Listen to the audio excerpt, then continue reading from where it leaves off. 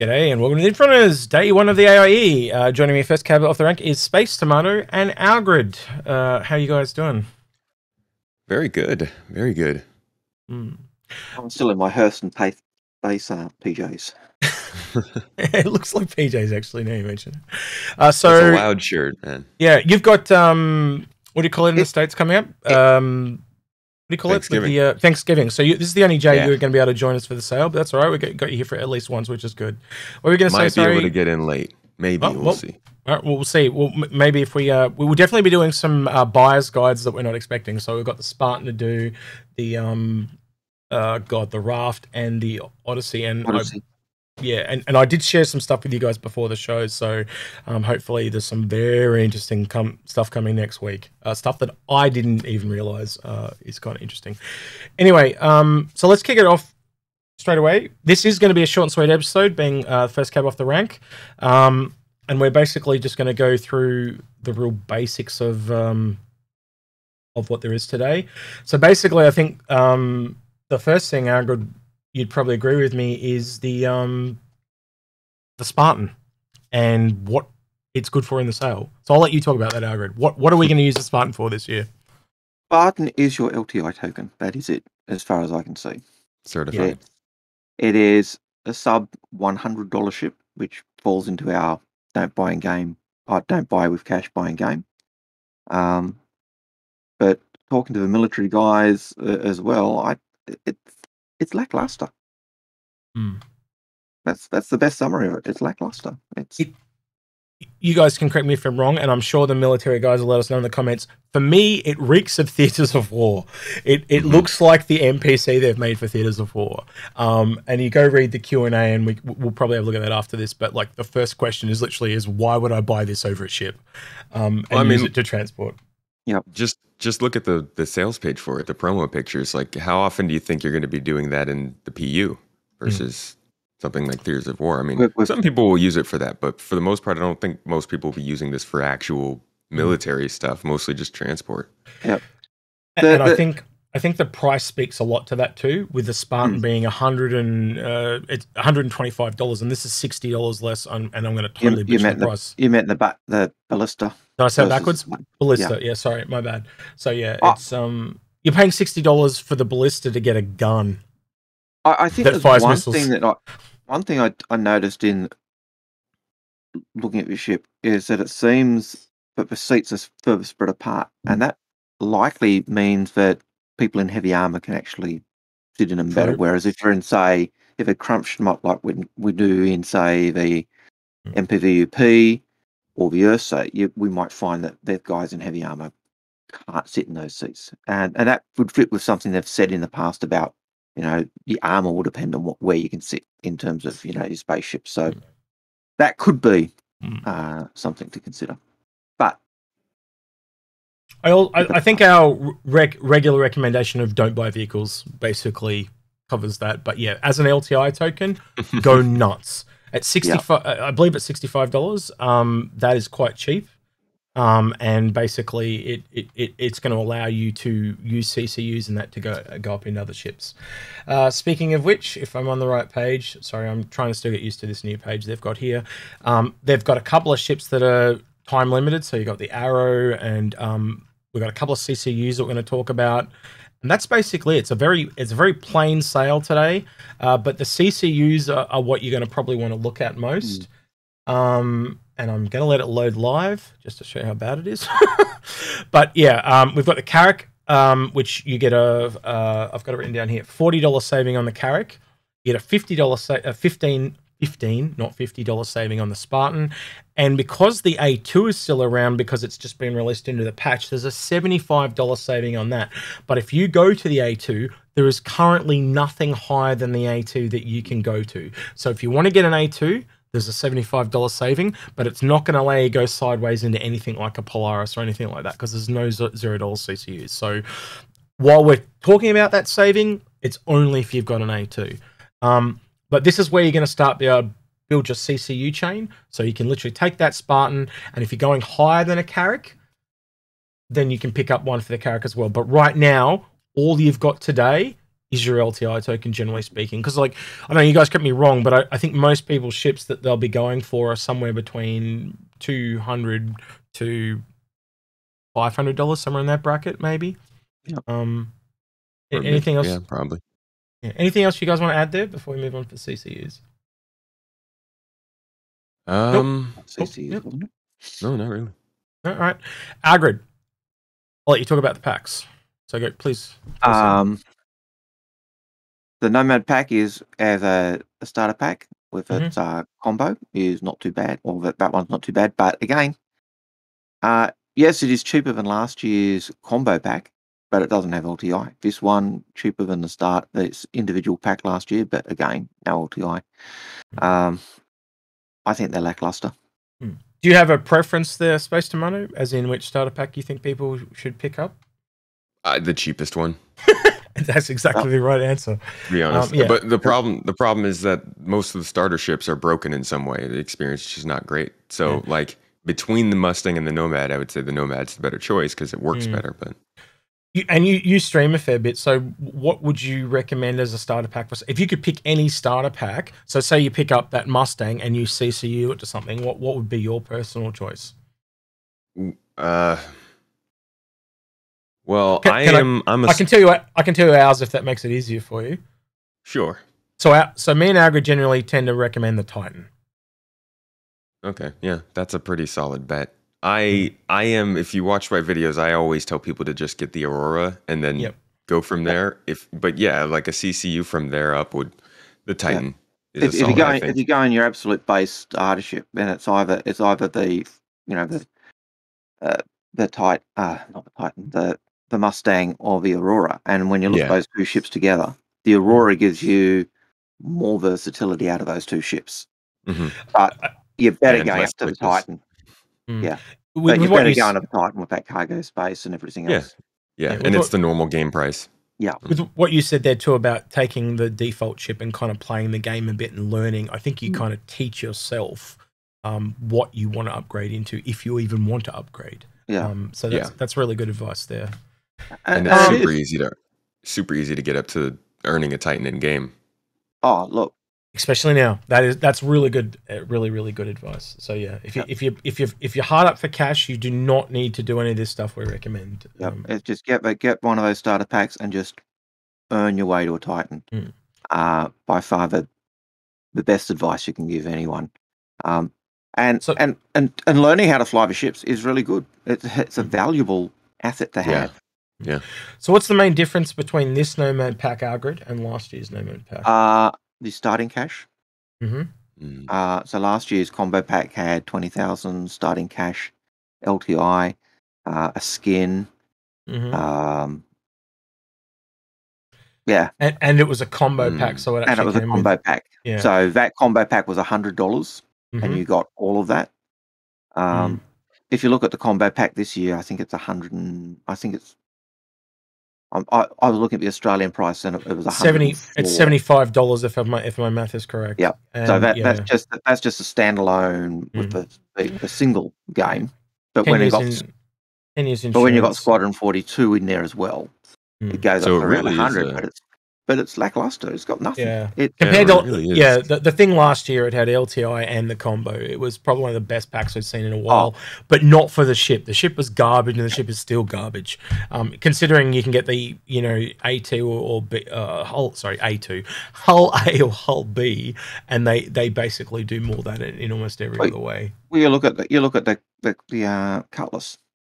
The Cutlass is closest ship to it in in CCU in in, the in Mm. the um in the you know in CCU chains, Yeah, and it does more cargo, has space for two rocks, has crew space for two, has living quarters for two, Mm. um, and it, if you're going to spend that much money, yeah. For Go, a go, ship go that the little is- yeah, go a go little a bit little bit further and get one for you, that you can use with a mate as well, and it, it'll it'll have a longer life. So yeah, I personally, Um, I, I feel I feel like they need to spend next year doing passes on every single starter ship and bringing them up to gold standard. Yeah, well, we did hear about that today actually with the Cutlass. So speaking of the Cutlass, it's going Right, yeah, with the Cutlass, it's good, yeah. Um, they they gotta take What? care of those starter ships though. Right, the, the Cutlass is getting a gold standard. I thought the Cutlass Yeah, was already yeah, a pretty. it was it was mentioned. I can't The remember where I heard is it. gold was today. the, the gold is always just a coating. It's not actual gold with Drake. That'd be, that'd be cool, actually. The the gold variant of the colors. Anyway, all right. So we've also got a few skins. So I'm just going to ask you your guys' simple opinion on what you think of them, and that's basically it. I didn't open up every individual one, but what I did was I just opened up the packs, so it shows them all anyway. So we've kind of got the the black and blue one, um, for the the Carrack. And Oh, that- and, and a polar one. Now the, thing that that Algared just noted on there is also the character's getting a best in show skin, Yeah. but it's the inverse of this. So it's this kind of like dark blue, not the same blue as that, but like a dark Yeah. blue with black on top. And I personally think it looks better than this one. And if you own the ship, you're getting it for free next week or two weeks from now. Uh, so for me, it's a pass on the black and blue one. I don't know about you guys, but what, what's your take on those two skins? Uh, space. I mean, I would, I, I'd rock it. I wouldn't ever buy it, but it looks decent. Hmm. I'm not a huge fan of it. I don't, I don't the the colors that they use on the, I don't know if it's the shaders or what the, but the skins never look as good on these pictures Yeah. and these marketing things as they do Hmm. in game for me. I'm just going to It- open it, up to show you the It's standard prices. though. marketing. Um, so the Carrack, yeah, look at that. So the the black and blue one's uh, what's that? Fourteen US dollars, and I think this one's like nineteen US dollars. I've got to convert it back from Australian. So if I'm wrong Yeah. or or whatever, guys, I apologize, but I'm trying to do it as roughly and quickly as possible. Um, so I think they're very expensive for what they are, and if you know Oh, anything yeah. about how quickly they're made, God, it, it's it, way quicker than anything like a game like League of Legends or whatever. It's literally just changing colors um, in DataForge, pretty much. It's But- I realized I said bad. what I said backwards. I meant it looks better in the, the, the marketing than it does in the game. Yeah. Yep. No, I, I, the I colors understood don't that's seem what to you said. look. because they want Yeah. they want you to buy with your eyes and Right. and stuff It's that. like it's like buying a, a, a McDonald's. You know, you look at the advertising and the, the Big Mac looks awesome. You know, or the, Mm. the Whammer looks awesome, but you, you buy the thing and it's yeah. Yeah. And why and I don't- ever wonder if that's going to change because this is going to have to be the bulk of their revenue at some point, right? Unless Yeah. they're going Mm. to keep selling ships. So they got to pick up the quality and quantity of these. Yeah. Now I um don't own a ballista, but someone in our supporters chat said that these were basically reskin versions of the ballista for the um uh, for the Spartan. Now I'm not too sure. I do remember there being a snow one. Um, there was a, there was a snow, a desert, and a and a regular. so there's no kind of is that the desert one? I don't know. It's a bit brown for me, but I, I digress. The point being is again, uh, skins for a vehicle to me just sounds a little bit, it, it- you know, sixteen. I'm going to say it's only sixteen dollars, but like if I go back here and actually look at the individual skins, when I can find the Spartan, that is bear with me. Expensive. It, it's a fi- the skins are a fifth of the price. That's not. That's it is Spartan, isn't it? God, I was, I was going to wait. It's ballista. So you're looking at seven dollars, four dollars for that one, and oh, there's there's some war bond. Oh no, that's the default skin. So yeah, seven dollars for a skin. Uh, it's, I think it's too expensive, especially when we were meant to be getting this custom paint creator where we can make whatever we want. Um, and I do know it's raising funds for the game, but I guarantee you how much buyer's remorseful people are going to be where the day before the paint customizer comes along or whatever, they basically make these zero dollar melt value and won't let you melt them, and then basically, oh, by the way, you can just now paint it any way you want. Like, That's kind of that's that's something that's consistent with everything that has to do with this game. Buying the ships, buying the skins, Mhm. even just playing the game. It's all diminishing returns. It feels like Yeah. the best way to play this game, honestly, if you want the best value, is just to wait and like not do anything until it's actually done. It, Yeah. it feels like if you're if you're in Mm. here and you're even looking at these skins at this point, you got to expect that at some point people are going to earn these in game, and you're Yeah. they're going to be no value. So well, that's good to remember. it's e- it's even the point that it used to be said that in game we'd have the ability to create our own skins. yeah, And Right. so, Yeah. Oh, I sometimes wonder whether they've they've passed on that idea now because skins they can sell skins and you like every other MMO, and it's mm. like, hey, get this red clothing skin, get this yellow one, and people will buy them because they get Pokemon disease, mm, Pokemon Or- syndrome. All right. Um, I think we'll start with Space Tomato because probably people have heard us to death. So Space Tomato from mm-hmm. Anvil what are the ships that you think people should be looking at today? What what ones like if if money's no object, what is the the, the ships that you think are best at what they do type of thing? The Crucible, Good choice. definitely. Um, and the I would say the care. I mean, I you know I know the Inforunners. I'm part of the group. I'm here all the time, so I know better. Bigger ships are better when it comes to the whole, you know, value. But Mhm. you're saying if money is not an option, honestly, I would say most people would would benefit the most from getting a Carrack right now because it's in game. It has a great set of features. It can carry you in a group of around. It's got tons of protection. It's just a good ship. All the rest of them are fighters. They're easy to earn in game, or they're just not even in game yet. I don't want to And you muddy the I don't want to muddy the water, but I got to ask specifically. But what about the Odyssey? With the Odyssey just around the corner next week, do, do, do you hesitate on the Carrack purchase there at all? No, because people Really? shouldn't be buying ships based on what their competitors are doing. Like if you bought a Carrack, you should not buy the Carrack because it's the best exploration ship in the game, because it won't be. Hmm. Buy the Carrack because it's what you wanted. Don't buy the Odyssey because it's the new fancy exploration ship. Buy the Odyssey because it does exactly what you want. That Nice. way, when a new shiny ship comes out, you know you're not sitting there going, "Oh my god, I got to trade this in." You know? Yeah. as a lot of people do. But I, I think the other thing that makes the Carrack so good is the fact that it's also got the Ursa Rover and a C8. Yeah, that is super. Ah. You are getting like a little mini bundle, aren't you? Yeah, it's a it is Yeah. a mini bundle, and it it's it's a per, it's a perfect it is a perfect ship for for a group of friends. You've got your land vehicle and your and your little daily driver. All right, so the game. Algared, your like recommended your recommended chips for uh, Anvil this For year. Anvil, I, I think it'd it'd still be the it'd still be the um the Carrack for the same reasons. It it's the most complete package in in a in a single ship. Um. Other than that, Crucible. oh, well, Crucible goes without Of course. saying. Yeah. I, I, I, you know, I'm part of a cult of a Crucible, so I, I I think I, I, I agree with you boys with just so, one slight addition, and that's the Spartan, but only as an LTI token. I will just chuck that in there because it's it's definitely going to be the LTI token for this sale, um, and I and I hope because it's now available in game, it's there available every day. So um, keep an eye out for Warbond CCUs, and hopefully, like last sale where you could get a Polaris for five hundred and twenty-five dollars instead of seven hundred and fifty, you might actually find that it, it's cheaper to use Warbond CCUs than go through um, uh, buying it for full price dollars, which is just crazy to me. But we'll see what happens because I'm I'm expecting already with some of the CCUs that are there today and what's coming, you may be able to get an Odyssey cheaper. Just straight off the bat, get it cheaper Yeah. than what they offer it for. If you go, because think about it, it's eight days in.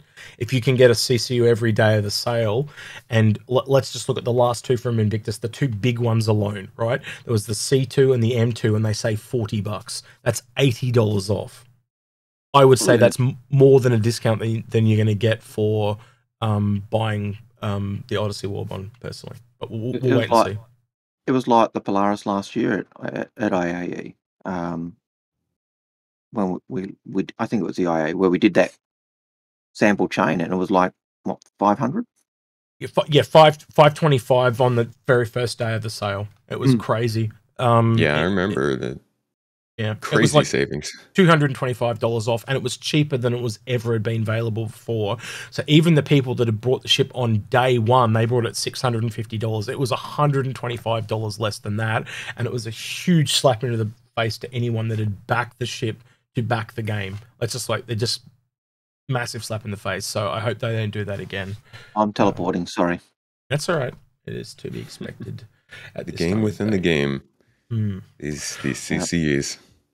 CCUs. All right then. Um, well, with that all said and done, that is um, today done. Hopefully, you have a great time uh, with. God, I'm forgetting again. It's not Christmas. It's uh, Thanksgiving. Thanksgiving. Thanksgiving. I'm not used to it. We don't have it here. So I hope you have a good Thanksgiving. I do know there's a lot of other people in the States that are a little bit annoyed because apparently that ISC that's dropping next week is right on Thanksgiving, uh, which Mhm. is a crazy day to drop it. So yeah. And it'll be a big, big, big ISC too. Uh, Big day I- in general. Uh, it's crazy because to me it almost feel like I, I really am into the ship so to me it's i'm probably more hyped for next week than i was for citizencon and uh, and, and ai Mm. itself so yeah I got you. I, I've always I don't like that this goes on that week because I'm always doing something that week. So you know, people are like, "Hey, come hang out, come jump in game," and I'm like, "I can't. I'm out of town." I think they but- kind of do it you, you correct me if i'm wrong because you're, you're from the states and we're not but i, I feel like Mhm. the anniversary sale is timed around black friday sales You- is that a thing that you think is possibly tied in with it I mean, it's the same. Yeah, it is the same weekend. Yeah. it does help. I'm sure. Hmm, okay so it's it's Everybody's in in, that the vein of spending mood.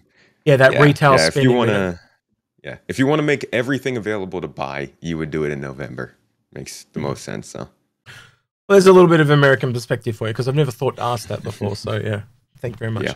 All like right, well, we- With that, let us know in the comments your thoughts and suggestions as well on anything else that you think we may have missed. Um, uh, CCU chain kickoff, uh, LTI, all that type of stuff. Let know your thoughts on the skins as well because I think they're a little lackluster, as you, you can kind of heard what we said. And other than that, he's been Space Tomato, he's been Algared, I've been Execute, and we'll catch you in the next one.